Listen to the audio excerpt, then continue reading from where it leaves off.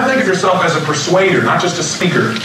As a persuader, persuasion is a transference of emotion. You cannot transfer that which you are not experiencing. Why don't jot that in your notes? You can't transfer that which you're not experiencing.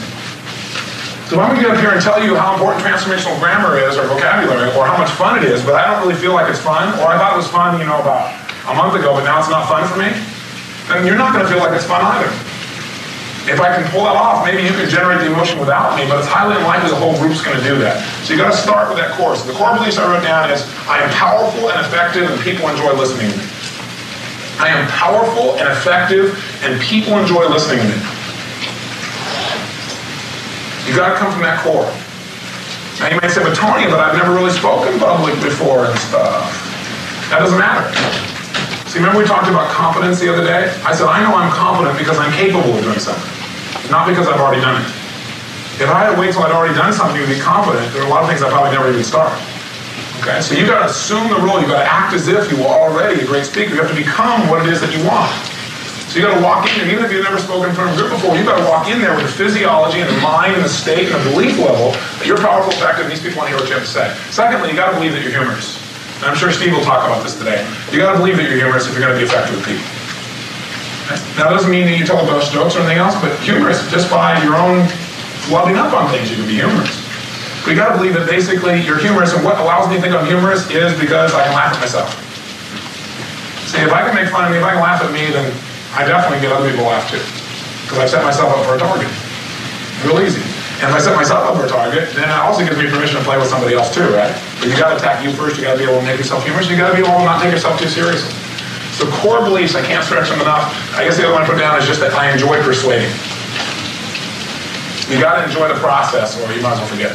And I just, I enjoy persuading. I enjoy influencing people so that they go for more choices. So that comes through anytime I speak. Here's the second key, physiology.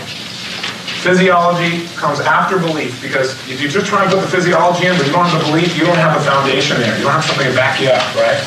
So physiology, though, comes in immediately. And what I mean by physiology is powerful and flexible. You don't want to just come in there all intense, you're going to be over gradient. You got to use what's appropriate for the place that you are. As far as I'm concerned, that means just pretty much putting yourself in a resourceful place. If you're in a resource state where you have the ability to get strong or get relaxed or get balanced, if you can move to all those different states from a physiology like that, then you have a lot more power to be able to influence your audience. But you all know, you've heard me share a lot of times, there is not a time when I go up to do a seminar where I don't put myself above level 10 to start with. That's my checklist under physiology. I make absolutely certain, boom, yes, yes, boom. And then I can relax, but relaxing is at this level. And if I want to relax all the way down to like level 8, I mean, I'm really like mellow jello. But meanwhile, what happens is people get a sense of power and energy from me. Because what I've done is I've opened up every channel. It's like I'm opening up my brain when I do that, not just my physiology in terms of gestures. If you get your entire body at that level of intensity, and what happens is what you're doing is open up circuits that probably weren't usually open. Now when something happens, it's like they're seeing the tip of the iceberg and they think it's a lot of energy. They go, boy, he seems like to be a powerful person. They don't have a clue. They have no clue. If, they if I unloaded my full intensity, only a few people ever seen me do that. I mean, people never forget it. But that intensity is something I learned to build. Like in martial arts, I talk about building ki, ki energy. That's what I learned to build intensely. I mean, that's what I can do something and wham, explode. So what I've learned to do, though, is how to use the appropriate amount. Jot down your notes, don't shoot a cannon at a rabbit. okay? okay? It works, but there's no rabbit when you're done.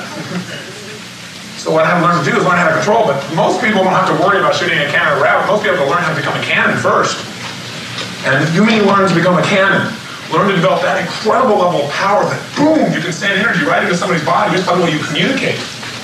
See, I'm a big believer. It sounds fluffy, like a total fluff like in here, but let me just tell you, when I walk into a room, I fill that room up with my energy. And what I mean by that is I can go into a room, depending on the dimensions and everything else, and I physically, how many of you have seen Kirlian photography? So you know that around your body is electrical energy. Okay? And when you change emotional states, you can see the color and the shape of that shift instantly. This is not woo-woo stuff, it's measured.